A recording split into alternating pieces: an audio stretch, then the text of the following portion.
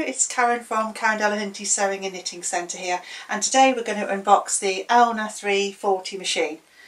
New one we've just had in so let's go ahead and open it and have a look and see what we've got. Okay, so get your instruction manual. It's well packed so we take out the polystyrene and then inside here this looks like the foot control that comes with it and then the machine itself. It does come with a hard cover by the look of it. So let's just have a look. Yeah, there's the hard cover. We'll just pop that over there. And let's take that out of the way. And then the machine. Let's have a look at the machine. Oh, look at that. That looks fantastic, doesn't it? So we'll put this all together and then we'll show you in a little minute how we put uh, how it unbox the Elna 340.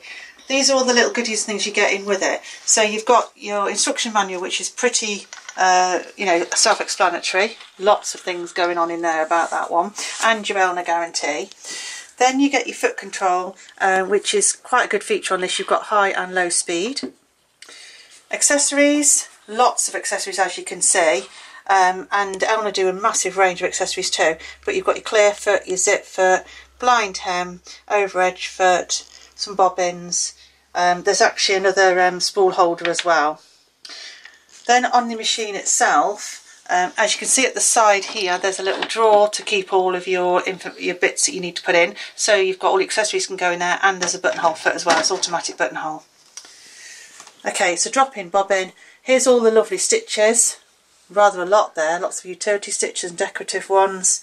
Um, so we can go through all that in a bit and show you all that. And you've got a stitch length and width control feature and a hardcover. So it looks a really good little machine. Okay, so now we're going to thread up the machine and we're going to do the bobbin first. This is the Pacific Elna bobbin, plastic bobbin that, that needs to go in the machine. It goes up onto this the little spool holder there, the little bobbin winder. There's the thread already on the spool and we've added the cap on top. And then we're going to take the thread. It's got to go through, shows you on the screen on there actually as well on the top of the machine, through there. Then we're going to take it round the back of the bobbin. Okay and then we're going to wind it around a couple of times like that. Okay. And then we're going to push this over ready to sew then we're going to put our foot down on the pedal and you will get it going.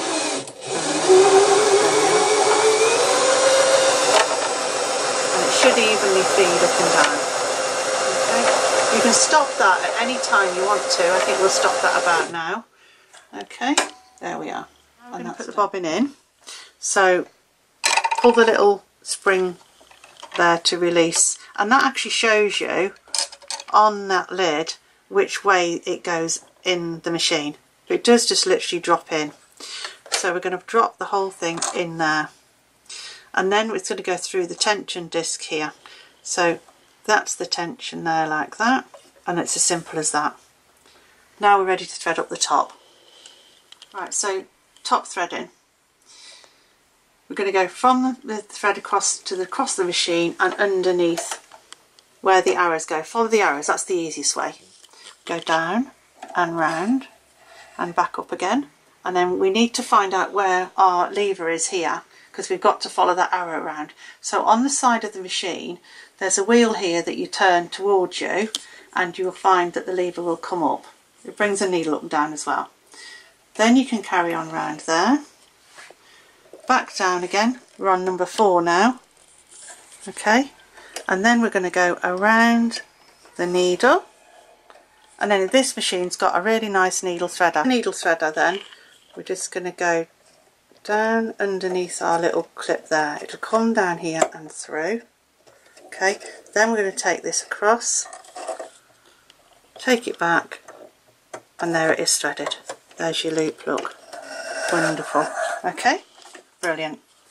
Okay, so now we've got our machine threaded up and ready to go.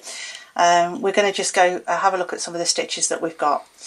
So the levers in the uh, side here that you push up and down, you need to put that down to start with. Stitch length here, about two and a half stitch length and we're choosing number one stitch at the top. because we're on this blue row here. Okay, so if we just sew that now,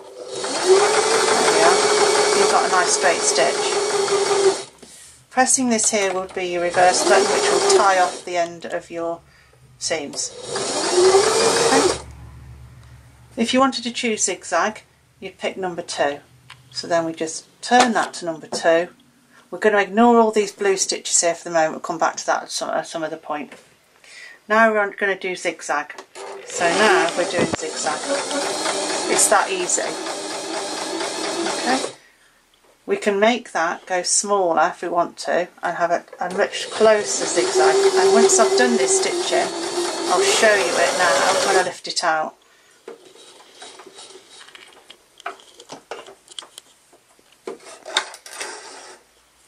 There we are. So there's your straight stitch, the reverse, there's your zigzag and it goes closer there as well. I've just pulled that rather tight, um, too tight, but it's actually okay. So not only do you have all these utility stitches across here, you've also got some other ones across the bottom um, and they're the darker blue.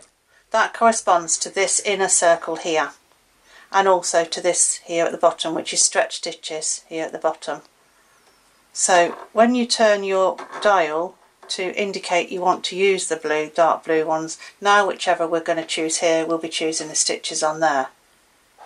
So if you were going to choose, say, number 16, you'd turn it round to there, which is, um, well, 17 actually even, because that's an over edge stitch. And we'll show you how that one works. Okay, so we've chosen an over edge stitch, number 17, and we've got the blue dark blue here to show that we are actually going to stitch that one out and that's it there look. This is a really good stitch for neatening edges um, or you can do it as a seam as well but this is the foot that you'd use. It's the number C letter C foot and it's got the little bars in the middle a little brush at the side. Okay? So the way to change the feet is at the back of this machine here uh, you on the on the on the ankle you just press the little black button and the feet will come off like that so that's that one done. And then we're going to put this one on. They've all got little bars on and just literally where underneath there, there's a little arch underneath here where that fits to. So we're going to align that to fit on there like that and then you bring your lever down onto the foot and it just catches it. So now we've got our over edge foot on there's a guide just right by this little black um, area here. There's your black guide. And when you put your fabric to the guide, that will literally sew on that edge. So we're ready to sew on that edge now.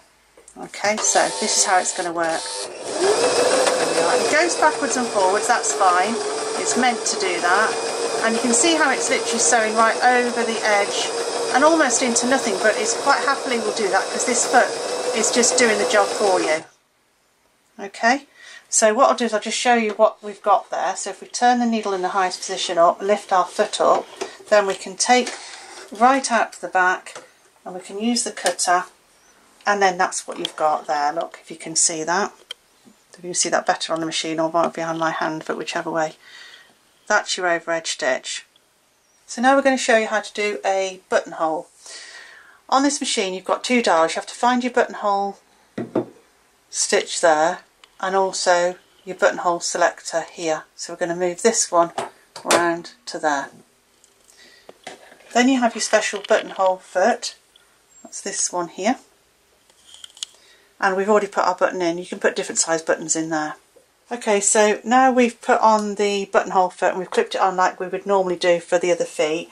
Um, the only thing you've got to remember then is the lever that's just behind this needle threader. Um, you pull this down, it's got a little buttonhole on it, and you pull it down and leave it there, and that'll measure your buttonhole for you. Okay, and then all you do is you put your foot on the pedal and you sew. And you sew.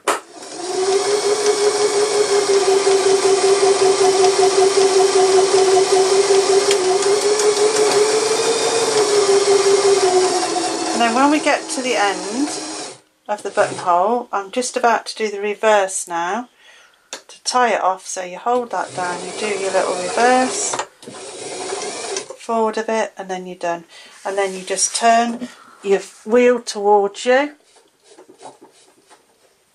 like that. Lift up your foot and take out. There we are. And then we have our buttonhole there. I hope you've enjoyed our introduction to the Elna 340. You can come along and try this machine in store and that's at 80 Warwick Road in Kenilworth or you can visit our website at www.karendelahunty.co.uk. Happy sewing!